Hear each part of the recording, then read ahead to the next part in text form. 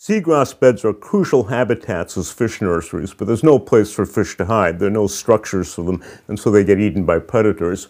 This biorock reef in a shallow seagrass in the Bahamas has attracted huge populations of fish that hide in here in the daytime and feed at night and vice versa.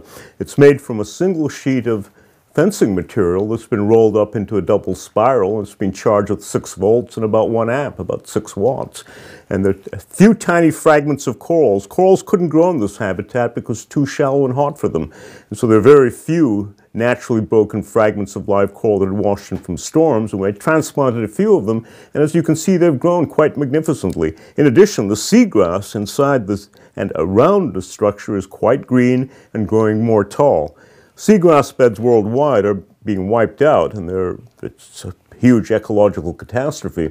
With BioRock, we believe we can help restore seagrasses and restore fisheries habitat of the species that rely on these habitats.